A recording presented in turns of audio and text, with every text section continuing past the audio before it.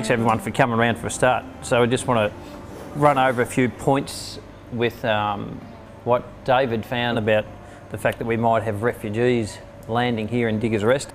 Nobody here was told this may happen.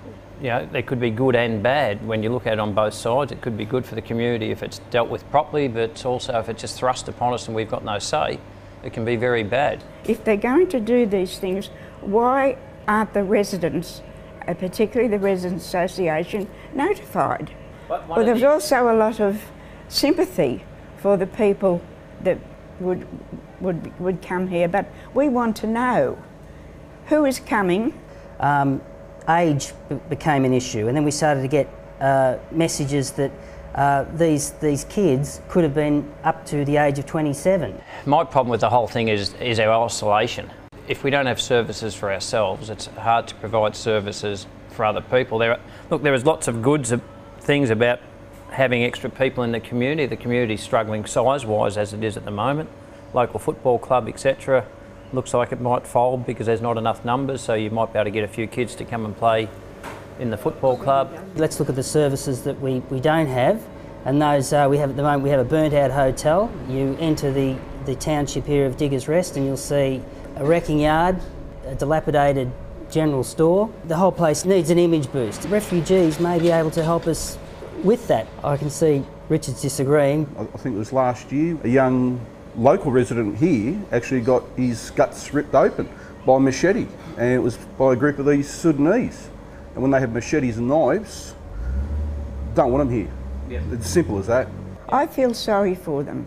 I really do, because it, it must be awful to have seen your whole family wiped out. It must be hard for them to come over here and accept what we are.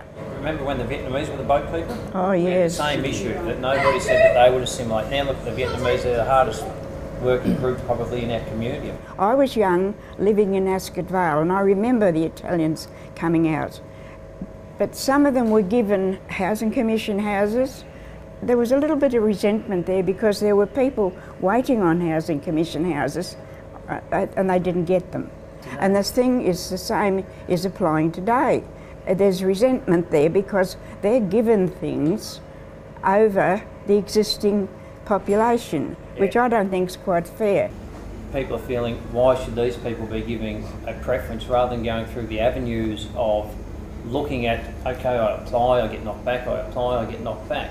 And, and I think that's causing a lot of this frustration with people is the fact that they're thinking, well, hang on, why should you be any different to anybody else? Um, yes, we do have our disagreements, you know, but after a, a quiet ale, everything's fine. Next day you're fine. Whereas some races, once they have an argument, that's it.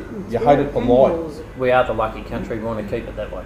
Yeah, but I still, I still feel that that. Red Scheme has stated spot the Aussie now. Yeah, the thing is, is that is that exclusive for the people living here, or is it for the world to enjoy. I don't know. What's the story there?